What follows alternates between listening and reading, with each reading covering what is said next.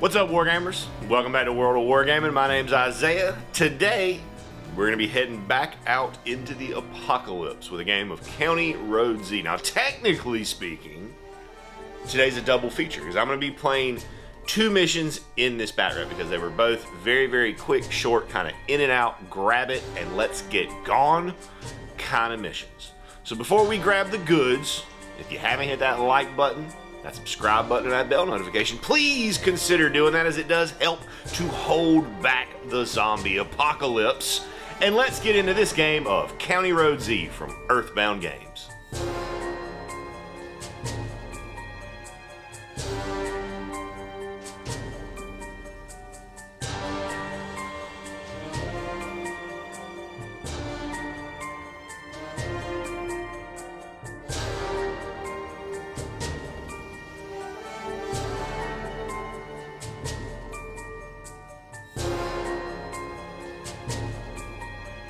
Up, folks? We are here with campaign turn nine of my County Road Z campaign.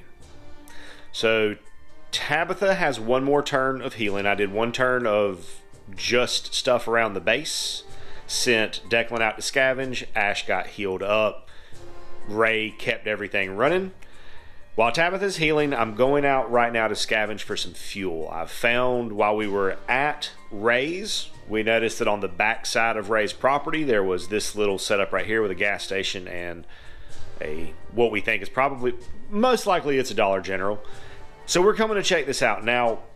Because of the way everything spawned and my very limited carrying capacity, I think I'm going to do this mission twice, back to back, both times on camera. Because um, I think this first one is going to be a very kind of in and out type of affair, or at least that's what I hope. So I may come back to this same spot in the same video to maybe search for some food or some hardware because there are some upgrades that I would like to get done. Like I would like to get a gas range put in, and I would really like to get a gas range put in because if once get once I get a gas range put in, then my food production for the moment is at a I don't have to worry about food. I don't have to think about food. Like I've, I'll, I will be producing enough food on base to feed everybody then I can start going out looking for some other things like a vehicle and some cars and just other things that would make life better and easier. So for this first run at this, we've got Ash, Declan, and Ray all deployed. They've walked up on the south side of the property where they've just kind of followed the fence line from Ray's salvage over to this place. We've got a lot. I rolled a, rolled a, like a nine for some resource markers. I do need to roll and see if there's going to be a survivor anywhere. Don't think so. I think that's the opposite of what I need. Yes, that is the opposite of what I need. That's a one. So no survivors to worry about at the moment. So we're going to get into my first actions. So I need to I need to deal with these two zombies. Pretty much everything else there are 12 zombies that started on the board and they are pretty much all got rolled up on that top edge. So I think I can just sneak in, grab some goods and bounce. So we're going to start with Ash. I'm going to measure out. I'm going to get where I can hit this one, but not alert this one. I'm going to move just down the field line and take a shot at that zombie. Oh, that is a miss. Will that zombie's now actually that zombie's going to push back three inch to aggressive. Um, I'm out of actions here, so it doesn't matter what I want to do. Declan and Ray are both going to move towards the objective. making a double move to get to right there. We're not going to put Ray. We're just going to put Ray right here, just so we tug back just just a little bit more. We'll go to zombie phase where this zombie, who is aggressive, will. Active enough? zombie is not within movement plus eight of a survivor, so it will move to the closest passive zombie, which is this one, and make it aggressive. Back to me. Ash is going to move up and scavenge. He will make three resource tokens from that scavenge. Will pick up two of them. And Ray will move around and pick up one of them. Zombies still do not have an enemy within eight, so they will move towards close closest passive zombies. Which are going to be that way. Which works out beautifully for me. Let's see. Ash wants to go this way. Three up and over, yep. So he's going to double move. Three, three, three, three. Okay, cool. So he's going to get to right there with a double move. Ray is going to go ahead and bounce. He can't do any more good here. Also, I forgot to play some random zombies. Let's do that. Yeah, folks, totally forgot about that. So we got one here. We got one here.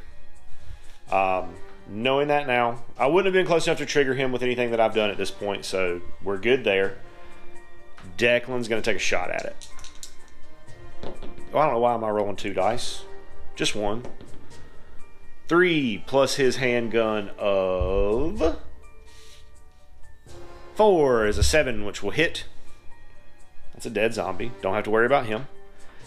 And then Declan is with his remaining movement is just going to come to right here. We'll do zombie stuff. Fresh one walked up right there. Ash is going to activate, scavenge, pick up a resource token. Declan is going to stay put. Yes, Declan is going to stay put. These zombies are going to move back here. And they will be there able to activate a lot of other zombies, creating a big old nasty horde behind the gas station. I am going to run back to base. My bags are full. I can't hold anything else. I'm going to run back to base and drop off what I've managed to scavenge. All right, so XP for this one. Ash and Declan are getting one. Ray will get two because of the bonus XP. Uh, Ray is going to be on the mission team again next time, not building anything this turn. Tabitha has one more turn to, of resting. Ray's going to be on the mission team, so I'm going to spend two of my three fuel to keep water to the garden and power to the refrigerator with the generator and the pump. And these three are then going to be, Lord, going to then be coming back here to see what else they can scavenge. I think I'm going to be looking for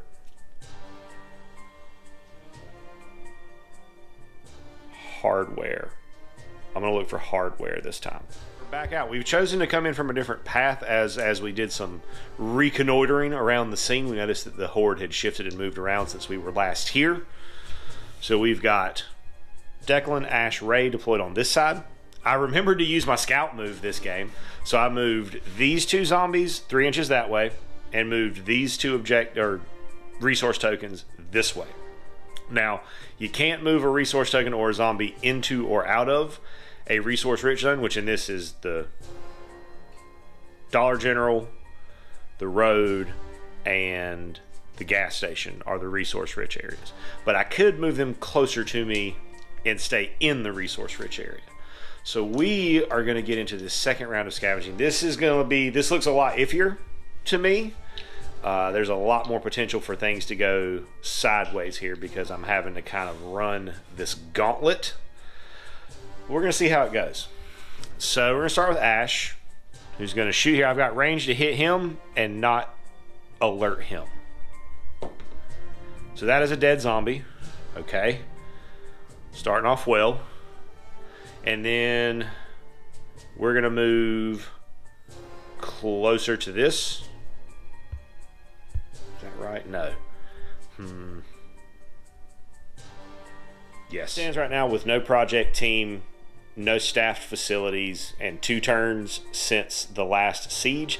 There's no way for a siege to happen, so no need to roll it.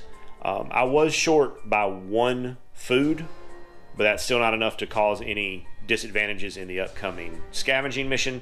So, that being said, I'm going to reset the zombies and the resources, and we're going to get out here to see if we can scrape up some hardware. I'm going to move up six, take a shot at that zombie in the field. That will hit and kill a zombie. Dead. And then Ray is just going to scuttle up to be with the group. Uh, that'll bring us to zombie stuff. So, zombie that is farthest away from me, which is going to be this zombie, will switch to aggressive. And then we'll get a new zombie at 24 and 9. To me, where Ash is going to move and scavenge,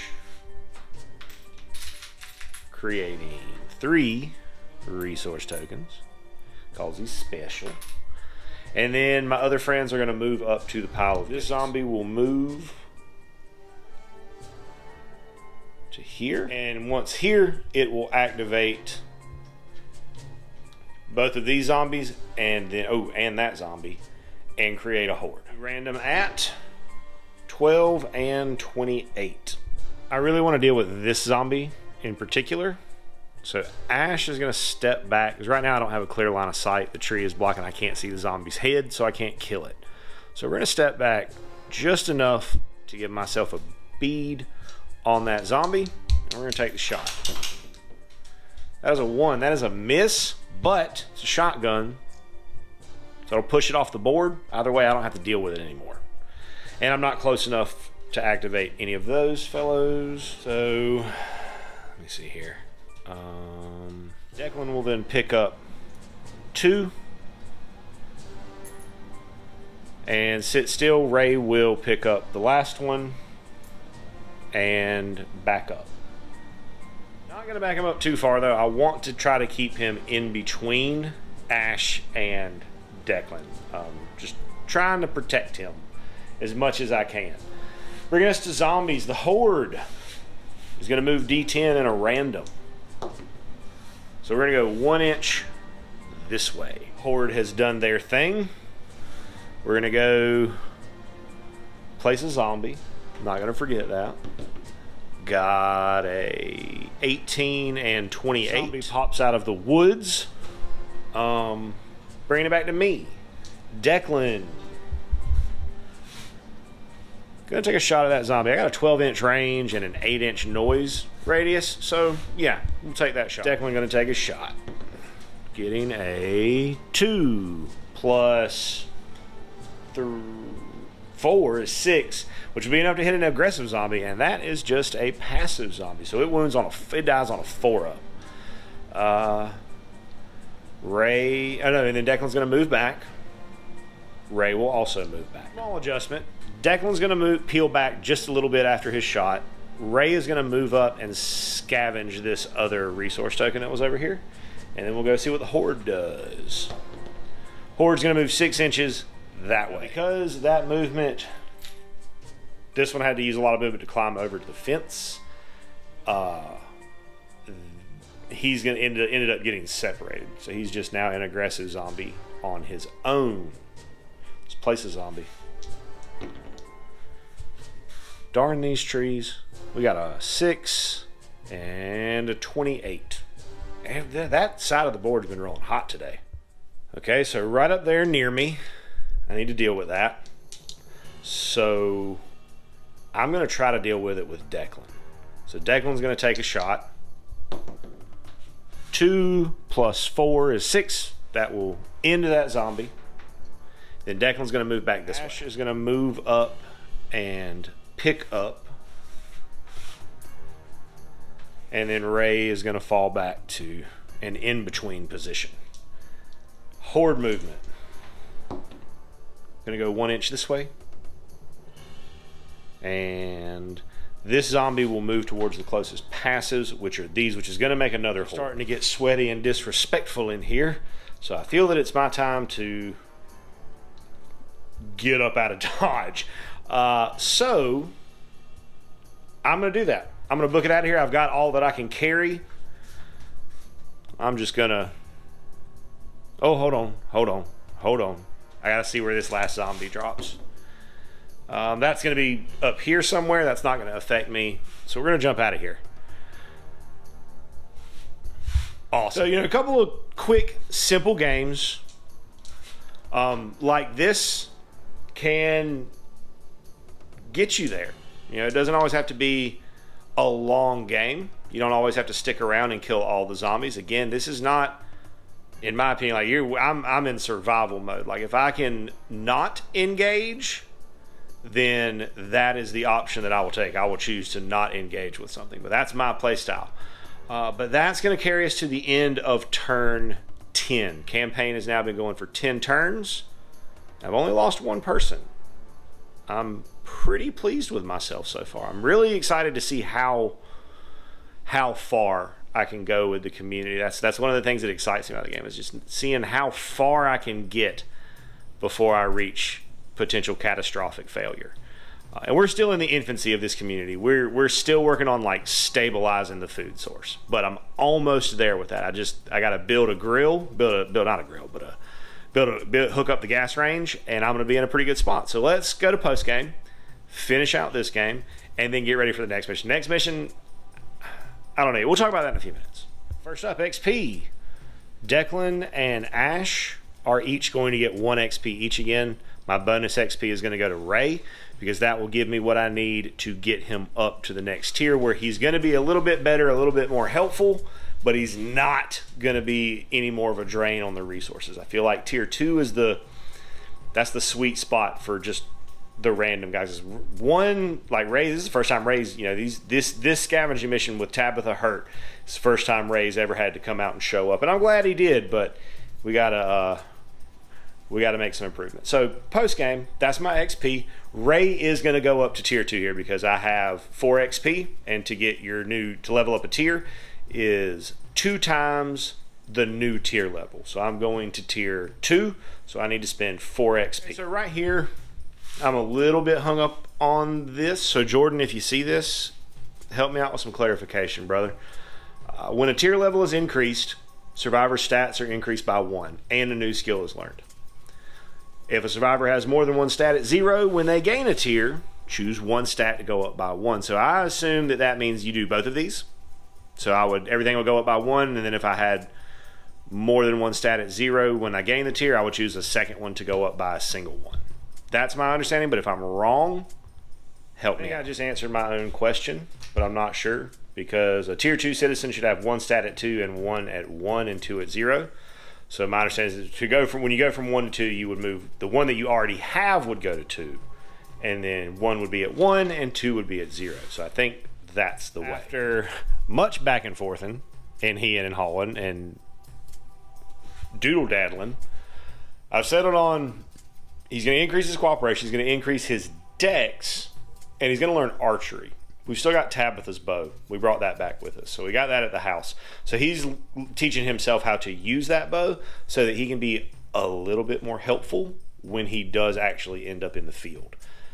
Which will take us to healing wounds. Or no, getting our getting our resources. So we're gonna get one food, two hardware, one fuel. Tabitha will come out of the medical bay. She's done healing. She can go back out with us now. Um, Ray is going to go back to the generator room and keep working at that. So he's going to be putting a power to the kitchen for the refrigerator and water to the garden. I do not need to spend any of my fuel right now. Um, I've got six food. So again, going to be a little bit tight rations, but nobody's really going hungry. Still got plenty of places to rest. Project team, however, I do want to get a gas range put in because once I do that, I'm more or less set on food and I can start expanding in other ways. Okay. So Tabitha, who is now well, and Declan are going to be put on a labor team together. They're going to be fixing the gas range in the kitchen and building an extra bed into one of the bunk rooms. That way, if we do come across somebody, they got a place to sleep. Uh, which means that on the next turn, Ash is going to be going out to scavenge because he can bring back more food than, than anybody else. Um, moving forward. There will not be a mission team. Nobody needs to rest or heal. There is no rot to check for. Uh, you require more from the basis value hunger score. Nobody's going to have a problem with being hungry. Everybody's got a place to sleep. hunger plus exhaustion. So I will have one on my unrest. Storage is good, and we'll check the whole. So let's see. Okay, so that's an 11. We're good. We're not having a siege yet because I had a lot of stuff going on this turn, so it, it could have. All right, I think I may have gotten cut off there, but I'm back now. That's going to do it for today. Like I said, I am going to do one more campaign turn off the table, just doing some building around the working on the base. And then next turn, after that, which will be turn 12, we will be going back out for a mission. And at that point, my food situation should be stable for at least a few turns. So I'm going to be going out on either one of the story missions or a thin the herd, something other than these other kind of stabilizing missions that I've been working through to get myself to a point where I'm comfortable going out and maybe taking a little bit more risk. But that's going to do it for today. Thank you so much for tuning in to this episode of County Road Z as we continue to survive the rural zombie apocalypse. I hope you have an amazing rest of your day. And as always, I'd like to say a big, huge, from the bottom of my heart, thank you to our patrons who support us and pledge to us over on Patreon. You guys are the absolute best. If you enjoyed the content you saw here today and that's something that you would like to consider doing to help out the channel, go over there, check out the link in the description, check out the Patreon. There's a lot of cool stuff over there, including access to our Discord server, talk to me, hang out with me, talk about our work, what we got going on in the hobby. Um, some shout outs, all kinds of cool stuff. Check it out if that's something that you think you would be into. And regardless of whether or not you do that, I want you to know that I am incredibly grateful that you decided to stop by and spend part of your day with me today, rolling dice and pushing toy soldiers around.